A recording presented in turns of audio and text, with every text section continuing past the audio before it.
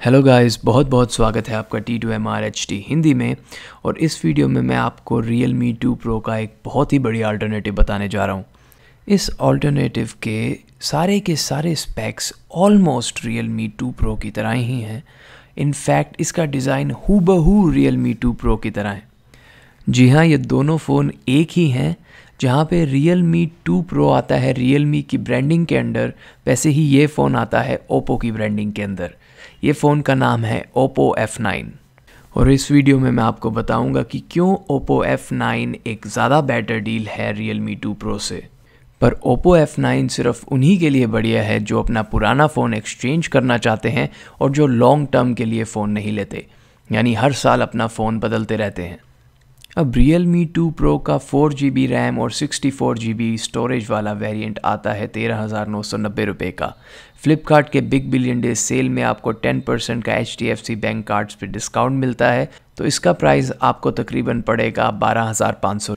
अब Oppo F9 का price big billion day sale में है अठारह हज़ार नौ सौ रुपये अब अगर आप कोई अपना पुराना फ़ोन एक्सचेंज करके ये फ़ोन लेते हैं तो आपको चार हज़ार रुपये का एडिशनल डिस्काउंट मिलेगा।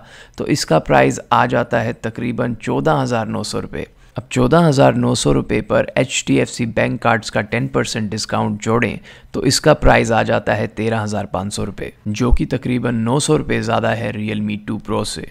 अब आप कहेंगे, यहाँ तो ओप्पो F9 हमें नौ सौ रुपये महँगा पड़ रहा है रियल मी टू प्रो से तो ये फ़ायदे का सौदा कहाँ से हुआ?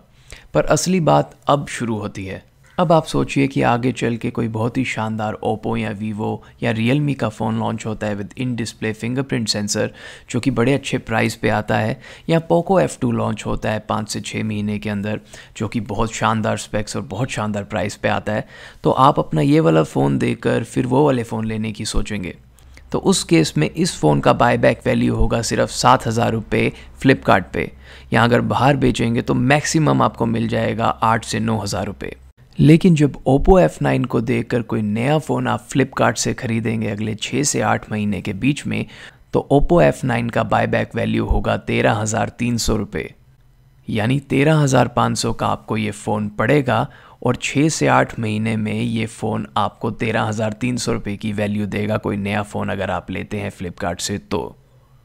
यानी इसे छः से आठ महीने के लिए यूज़ करने की वैल्यू हुई सिर्फ़ दो सौ रुपये on the other hand Realme two pro को छः से आठ महीने यूज़ करने की वैल्यू होगी लगभग साढ़े पाँच हज़ार रुपये तो है ना ये फ़ायदे का सौदा?